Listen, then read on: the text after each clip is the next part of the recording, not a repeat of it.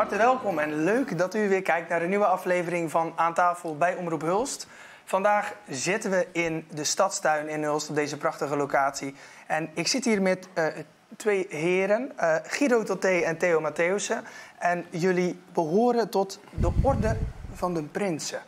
Zeker. Excuseer mij, maar ik had er nog nooit van gehoord. Is dat gek of hoort u het vaker? Nou, het is uh, niet gek. Ik moet zeggen, uh, voor ik lid werd van de club, uh, heb ik, had ik de orde ook nooit op het vizier, om het zo maar te duiden. En, dus ik denk dat het ja, niet raar is als mensen zeggen, wie is dat? Sommigen denken misschien dat het een carnavalsvereniging is zelf. Ja, dat, maar, daar moest maar ik zelf dat, ook aan denken, ja, Maar dat is het dus duidelijk niet. U bent nee. de huidige voorzitter, u bent ja. de voormalige voorzitter. Ja. Is misschien dan even goed, aangezien er misschien samen met mij nog wat mensen thuis zijn die ook niet weten wat het is, om even te beginnen bij wat is de Orde van de Prinsen en uh, waar staan ze voor? Ja, de Orde van de Prinsen is uh, een genootschap, eigenlijk ontstaan in uh, België in de jaren 50. En wat de bedoeling heeft, het behoud van de Nederlandse taal en cultuur. In de breedste zin van het woord eigenlijk. En voor 2000 was dat een gesloten genootschap. Die trad nooit naar buiten. En dat is hij zegt in de jaren 50, waarom was het nodig dat er zo'n genootschap werd opgericht? Was daar een speciale aanleiding voor? Ja, de aanleiding was eigenlijk uh, leg in Kortrijk. Daar, uh, Guido van Geluwe, dat was een advocaat en een vriendenkring. En die, die vonden dus dat uh, in België had je, had je toen de, de taalstrijd. En in de taalstrijd vonden hun dat de Nederlanders de Nederlandse taal onderdrukt weer. Alles was in het Frans. Dus zo is dat eigenlijk een beetje ontstaan. Dus behoud van de Nederlandse taal en cultuur. En hoe gingen zij dan te werk? Hoe, uh... Ja, zij hadden uh, uiteraard uh, bijeenkomsten om, zeker in het begin, toen, dan, toen dat nog echt op gang gebracht moest worden, bijeenkomsten om met elkaar te bespreken hoe kunnen we die cultuur en die, en die taal vooral in de hogere segmenten van het, van het Belgische eh, de Belgische maatschappij, hoe kunnen we dat nou naar voren brengen? Daar ging het vooral om. Dat is inmiddels natuurlijk allemaal wat, wat, in een, wat duidelijker geworden. Nederlands is een, natuurlijk gewoon een taal geworden die in Vlaanderen en in België geaccepteerd is. België is zelf, is wel begraven. Ja. België, België, is inmiddels zelfs drietalig, hè, want er zit ook nog een stukje Duitsland, Duitsstalig gebied. Uh, en inmiddels is dan die, die taalstrijd die toen toch wel heel sterk was, die misschien nog wel ergens leeft in België natuurlijk.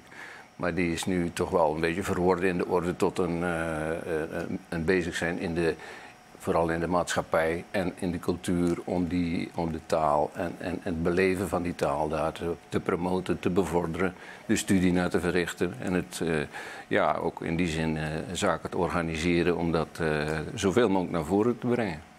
En hoe zijn jullie daar zelf zo bijgekomen? Hadden jullie ook een bepaalde voorliefde voor de Nederlandse taal? Of hoe zijn jullie daar zo ingerold? Om even met u te beginnen. Um, ja, ik vind het zelf altijd heel belangrijk. Ik, uh, ik had best wel een, eh, een, drukke zaak. Maar daarnaast vond ik het altijd belangrijk dat je naast die zaak ook iets anders deed. En uh, daar paste de Orde van de Prinsen eigenlijk best goed in. Zeker qua cultuur en Nederlandse taal. Dat, ja, ook uh, het leuke van deze club is dat, er, dat, dat we ook Belgen erin hebben. En dan krijg je dikwijls hele leuke discussies, zeker over, over cultuur, dat het totaal anders is. Ze dicht bij elkaar wonen en toch zo verschillend. Ja, iedereen... En we spreken allemaal dezelfde taal. Ja, maar iedereen zegt altijd, België ligt heel na aan ons, maar qua cultuur ligt het heel ver uit elkaar. Ja, wat zijn de grootste verschillen volgens u? Uh, de grootste verschillen, uh, ja, mijn, mijn dochter die woont ook in Kortrijk en dat is in West-Vlaanderen en die zijn veel traditioneler als wij. Uh, voorbeelden daarvan zijn natuurlijk, een Belg kan zijn eigen daar enorm aan ergeren, dat, dat je in een club aan het eind van het jaar, dat de kas gecontroleerd wordt. Dan ja, hebben ze zoiets van. Hollanders, Nee, maar, ja, en dan moeten er overal bonnetjes bij zijn. Ja, maar vertrouw je de penningmeester niet? Ja, wij vertrouwen de penningmeester. Maar in, in, in België wordt dat bedekt en, en, de penningmeester doet dat goed. En misschien kijkt daar eens iemand naar. Op goed vertrouwen. Is op goed vertrouwen, maar ja, wij zijn ja, een beetje Calvinisten natuurlijk. En ja, wij willen dat allemaal gecontroleerd en gedaan hebben.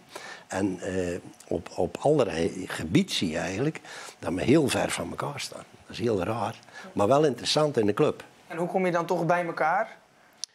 Uh, dat gaat denk ik juist niet om te verschillen, maar juist in uh, waar je overeenkomt en waar je elkaar kan vinden, denk ik. Ja, ja maar uh, ja, we komen één keer in de maand bij elkaar en dan nodigen we meestal een, iemand uit die dat een, een, lezing geeft.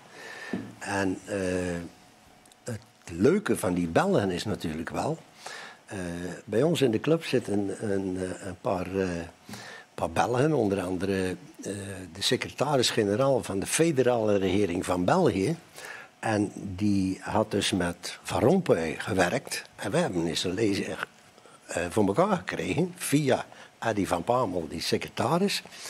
Uh, dat Van Rompuy dus een lezing gaf bij ons. Ja, dat is wel interessant natuurlijk. Waar ging die lezing over? dan nog? Nou, de, de lezing die ging eigenlijk over het voortschrijden van de Europese Unie. Daar ging het eigenlijk over. Ja. Was best wel, uh, wel ja, wat mij bijgebleven is.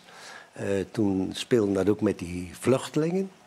En uh, daar, kan je zien dat dat toch wel iemand is die had, ja, op een hoog niveau qua intellect staat. En toen was de heel die felle discussie met die, met die met die immigranten was dat.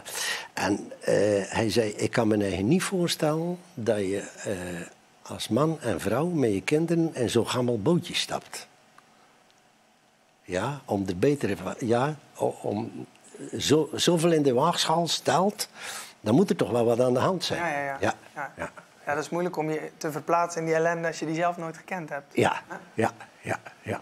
En uh, Theo, Nee, Guido. Voor u, ik twijfel of ik u of je. Nee, zeg maar. Ja, nee, natuurlijk Ja, ja. bijeenkomst, maar dat nee, nee, nee, zo erg is het ook weer niet. Hoe is, het, uh, hoe is dat voor jou zo gekomen? Ja, taal en cultuur, want dat draait het natuurlijk om bij, bij de orde. zijn toch dingen die, uh, die mij altijd wel geïnteresseerd hebben. Zeker de cultuurtak. Ik ben zelf technisch van opleiding, dus de taal ligt voor mij iets verder weg. Cultuur is natuurlijk ook breed, hè? Maar en cultuur, dat wilde ik net. Uh, ja, dat is ook zo. De cultuur heeft natuurlijk heel veel aspecten waar je, waar je ja, dingen mee kunt doen. Of dat over muziek gaat, over film, over, over toneel, over uh, poëzie. waar, zit, waar zit voor jou zelf de, de voorliefde? Of is die ja, ook zo breed? Ik, ik zing zelf in een koor, dus ik mag gelijk zeggen dat ik dan toch wel heel veel voorliefde heb voor het muziekgebeuren. maar ook daar zitten we heel veel aspecten aan vast. Dus de, de, de, wat de orde wil uh, uitstralen en waar ze zich ook actief mee bezighoudt, is natuurlijk een heel breed scala van allerlei activiteiten die plaatsvinden. En uh, we hebben daar ook diverse acties al in, in uitgezet. We hebben een filmfestival uh, gesponsord. Er zijn leden bij ons die zelf boeken geschreven hebben, die gedichtenbundels gemaakt hebben. Uh, ik mag misschien de naam van Jan Lokkeveer noemen. Die heeft een uh, recent een boek geschreven over de havens van, van Antwerpen, van Hulst. Uh, dus dat, dat, dat zijn allemaal toch heel interessante geschiedkundige dingen waar je, waar je echt veel van kunt leren. En dat, en dat interesseert mij geweldig. En daarom vond ik het zeker interessant om bij die orde als lid toe te treden. Want als je wilt toetreden, moet je dan, of moet je moet je dan ook zo breed geïnteresseerd zijn? Of kun je ook zeggen, nou, ik wil alleen over bepaalde uh, aspecten of zo meepraten of mee... Uh... Als, je, als je lid wordt van de orde, dan uh, Ten eerste moet ik zeggen dat je uitgenodigd moet worden om lid te worden. Je kunt je wel aanmelden, maar het moet altijd toch wel via een aantal. Ga je door een soort ja, je, als je daar interesse in hebt, dan uh, kun je de pad wel vinden. Dan worden er altijd dan mensen benaderd die jou dan kunnen voordragen. Via, via, via, een netwerk? Het loopt altijd via een netwerk, dus het is in die zin nog steeds wel enigszins een afgesloten is niet het goede woord, maar besloten uh, uh, genootschap, heel, de, heel deftig gezegd. En uh, ja, daar, uh, dat lidmaatschap, dat uh, betekent dan dat je in feite onderschrijft waar die orde voor staat. En dat betekent dat je dus interesseert in de, in de studie en in de beleving en in de, in de bevordering van het, de Nederlandse taal en de cultuur, wat in, de, in, ons, in onze keuren staat. Hè. Mm. De keuren wordt overigens iedere vergadering netjes voorgelezen door de voorzitter. En als je, lid, eh, als je als lid geïnstalleerd wordt, behoor je die ook te ondertekenen. Dus je moet wel Ja, je, eh, je echt. conformeren met waar de, waar de, doel, de doelstellingen zijn van de, van de orde. Dat wel. Ja, Ah, leuk. Ja. En u bent voorzitter. Ik ben sinds eh, oktober vorig jaar voorzitter. Ja. En dat is dan van de regio Hulst of van de... Afdeling Hulst. Afdeling Hulst. Afdeling Hulst. De afdeling Hulst is een van de eh, vele afdelingen. We hebben een, eh, een honderdtal afdelingen, 3000 leden wereldwijd. Want Wereldwijd ook. hè? ja, het is niet alleen in, in de regio Zuid-Vlaanderen en Nederland. Nee, we hebben afdelingen in Zuid-Afrika, Curaçao, eh, in Amerika. Eh, ook in Frankrijk zijn er zelfs afdelingen. Dus wat dat betreft eh, is de orde vrij breed nog wel gesetteld in de wereld, zeg maar. Maar is het dan ook zo dat die, ja, die taal en het cultureel erfgoed en zo... waar- dat je dat wel bekijkt vanuit Hulst? Want voor mensen hier in Hulst is het denk ik dan helemaal anders... dan als je zegt voor een regio helemaal aan de Ja. andere kant van het land... Ja, aan de andere kant van de wereld zelfs. eh. Ja, maar zoals Steven net schetst, wij hebben natuurlijk een beetje een specifieke afdeling. Wij hebben eh, ook, ook Bel- eh, Belgische leden. Ja, Wat, de grenzen is bij ons zijn ja, wat natuurlijk bij, bij uitstek is wat die orde ook nastreeft. De, de, de, de samenleving Vlaanderen, Nederland en alles in de maatschappij en in doen en laten. Ja, daar ligt natuurlijk hier juist het raakvlak in Zuid-Vlaanderen. En dat is natuurlijk wel mooi dat dat bij ons in de afdeling zich dat juist heel sterk eh, manifesteert. Ja. Ja, dat is... eh, Ja, zijn er bepaalde dingen waar je eh, achter bent gekomen of inzichten die je hebt gehad eh, die je nog niet wist toen je nog niet bij, tot de orde was toegetreden? Of Oh, wij wij. Nederlanders en, eh, en Belgen. Ja, het, zoals Steven net schetst, is eh, natuurlijk het ervaren van hoe de Belgische denkwereld in elkaar zit, is op zich wel een beleving op zich. Dat, Merk je dat in de afdeling Hulst zelf ook al? Dat al Jawel, jawel Ja. daar zitten, dat is net geschetst. dus Ja. Dat hoeven we niet te herhalen, denk ik. Maar dat, dat is best wel interessant om die eh, bewegingen te zien. En in karakter zit ook wat dat betreft best wel heel veel verschil, ja. Maar eh, dat is ook wel leuk, want die eh Benedict Sas bijvoorbeeld, die is, die is ook lid bij ons. Die woont hier in, eh, in Stekenen. En die, had, die zit aan de Universiteit van, van Gent. En, maar die had als hobby het, die, het distilleren van, van gin. En die gin, dat recept uit die uit de 16e, 17e eeuw. En ja, dat is geweldig interessant om die man bezig te zien. Dat hij met zijn hobby bijvoorbeeld... eh, eh, zijn gin wordt ge- geschonken in de Jane van, eh, in Antwerpen. Dus ja, Leuk, ik begreep dat jullie hem ook hadden uitgenodigd op jullie, eh, op jullie online avond. Ja. eh, vorig jaar 2020. Daar hebben we een klein filmpje van, dus daar gaan we even samen naar kijken. Veel mensen weten dat er tussen Hulst en Steken in dat mooie gebied heel veel geschiedenis is. Maar misschien niet dat het echt hier in de grond zit. En Benedict, als ik het goed zeg, hier is enorm veel geschiedenis op dit kleine stukje, toch? Ja, dat klopt. We staan hier bij het rijpingsmagazijn van de stokerij, waar het eh, whisky ligt te rijpen. En eh, het eh, rijpingsmagazijn staat op de ingang van een oude cult- en begraafplaats van de Latijnenperiode. Dus van 500 voor Christus. Ehm, er waren twee cultplaatsen boveneen, maar dus de, de meest recente is van 500 voor Christus. Ehm, hier is altijd eh, wel bevolking geweest, nadien ook nog. Eh, en af en toe vinden we nog eh, stukken. Bijvoorbeeld eh, Romeinse dakpannen die men hier in de grond stopt om oneffenheden op te vullen. Dus van, vroege middel, de- van, de, van de prehistorie tot de Romeinse tijden, tot dus de middeleeuwen, heeft hier op deze locatie altijd de bevolking gewoond. En nu ligt daar de whisky te rijpen. Ja, dat was een leuk stukje, heren. Kwam het ook door, ja, door corona, neem ik aan, dat jullie eh, ja, uit zijn moeten wijken naar een online evenement? Ja, zoals Steven net al schetst, onze eh, normale bijeenkomsten zijn één keer in de maand. Op eh, de derde week doen wij altijd op, op maandagavond onze bijeenkomsten. Dan, ja, dat is een normaal ritueel wat we dan doen. Dat is eh, een maaltijd vooraf, eh, een, een bij- bijeenkomst beleggen met een lezing of een presentatie of iets dergelijks. En dan s'avonds daar nog gezellig over napraten en discussiëren. En daar mag uiteraard ook een borrel bij gedronken worden. En niet te veel, want we moeten allemaal nog naar huis. Zeker onze Belgische vrienden. Maar ja, corona is natuurlijk wel een, eh, een dwarsligger in dat eh, verhaal. En eh, we moeten dus vanaf, ja, u weet het zelf, al een jaar lang proberen onze leden te bereiken. En dat is toch wel een, een, lastig iets. Dat, dat maandelijkse ritueel van die bijeenkomsten, dat valt weg. En daar moet je een alternatief voor bedenken. Het is misschien ook het hele stukje dat je niet de hele bijeenkomst meer met het eten, met het napraten, Ja. met het... Ja, die, die fysieke ontmoeting die vervalt. En dat is, eh, ja, dat is toch wel lastig. Zeker voor mij als nieuwe voorzitter. Want ik heb eigenlijk de situatie nog niet kunnen meemaken dat we gewoon met, bij Ja, elkaar je bent komen. echt in, coro bij- in coronatijd Ja, ingestapt, tuurlijk. eh. Ja, ja, ja. Dus Ja, ik, eh, het, dat- het, het langs de andere kant ook weer, weer voordelen. Nee? Want we zijn gesimuleerd met de afdeling Heerlen. En eh, we hebben ook eh, contacten met Lille en met Gent. En die hebben allemaal naar die uitzending gekeken, want dat kon. Dus ja, Ja.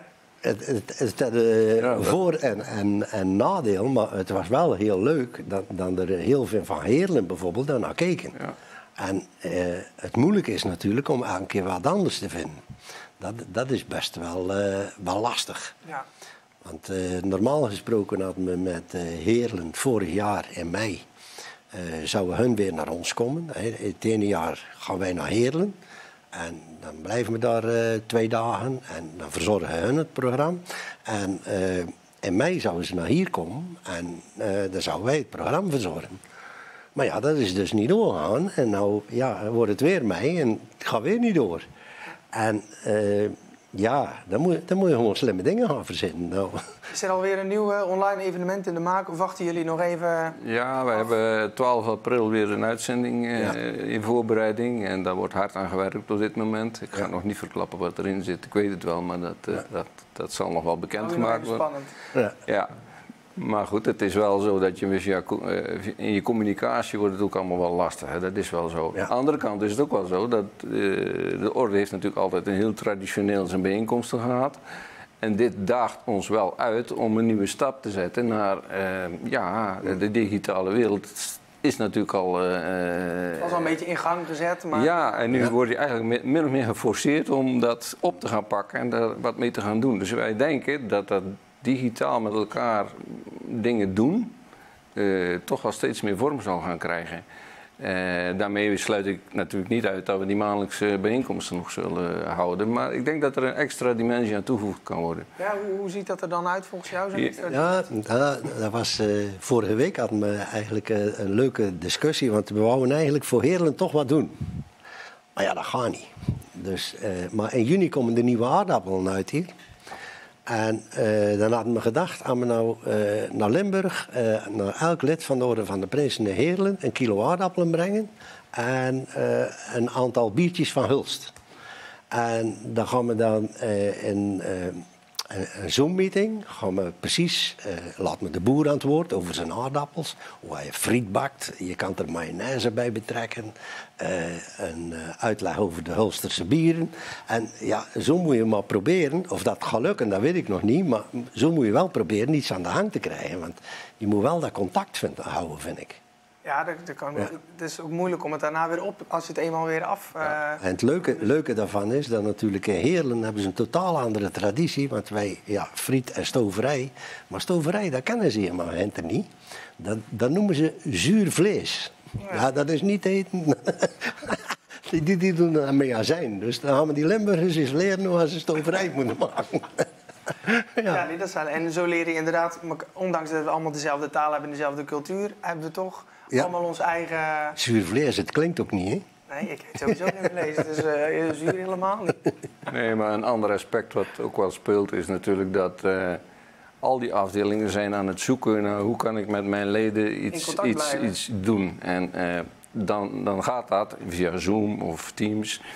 En dat betekent dat het ook veel meer voor iedereen bereikbaar wordt. Laagdrempeliger. Het wordt laagdrempeliger. En, en je kunt als afdelingen bij elkaar in de keuken gaan kijken, bij wijze van spreken. Nou, dat biedt natuurlijk enorm veel mogelijkheden. Want iedereen organiseert wel een spreker of een lezing of, of een bijeenkomst. En als je, dat wordt bekendgemaakt, kan je op de website van de, eh, van de orde gewoon zien. En je, je kunt daar gewoon als ieder afdelingslid, eh, ieder lid kan gewoon meedoen. Dus wat dat betreft kun je gewoon aanmelden en dan word je toegelaten tot die eh, bijeenkomst. Ja. Dus het wordt ook een beetje afdelingsoverschrijdend. Alleen in het gewest gebeurt dat, maar dat gebeurt ook in, eh, door heel, heel, heel de eh, orde zelf. Ja, Dat is dan weer het eh, voordeel van het digitale. ja, Ja. Dan tenslotte, we weten dat we ons niet eh, kunnen opgeven, maar dat we het via via. Maar heb je nog tips voor mensen die graag bij de orde zouden willen? Wie moeten ze, wie moeten ze aanspreken? Wie moeten ze aan voor, ja, in het begin van het gesprek werd er verteld, eh, we kennen de orde van de prinsen niet. Maar wat eigenlijk heel slecht bekend staat in, eh Hulst, dat we een, twee jaar terug eh, met de herdenking van eh, de Eerste Wereldoorlog, een gedenkplaat is er geplaatst aan het stadhuis in Hulst. eh, door de orde van de prinsen. En eh, dat herinnert aan de tijd dat eh, de, de Belgen, daar brak dus de oorlog uit. En dan zat men ineens in Zeeuw-Vlaanderen met, met 100.000 vluchtelingen. Ja, als er morgen eh, op de televisie komt of op Omroep Hulst komt dat er 50 asielzoekers naar Hulst komen, hebben we een probleem. Ja. En toen stond er ineens 100.000 man in Zeeuw-Vlaanderen. En die mensen zijn allemaal opgevangen, weliswaar later. Maar om dus eh, te zeggen, eh, ja, dat is wel van de orde van de prinsen. Dus da- daar staan wij ook voor, voor cultuur en geschiedenis. ja, mooi. Ja. Als iemand belangstelling heeft, om, eh, dan kan die zich altijd aanmelden bij ons. Dus dat is geen enkel Kan u zich probleem. kenbaar maken? Jazeker. Nou ja, goed. Mensen thuis voelen vooral aangesproken. Eh, heren, ik wil jullie hartelijk bedanken voor de komst naar de studio en ons eh, kennis te laten maken met de orde. Eh, ik hoop dat er, eh, dat er toch wel wat nieuwe mensen zijn die zich, eh, die zich gaan aanmelden. En dan wil ik eh, u thuis van harte bedanken voor het kijken en graag weer tot volgende week.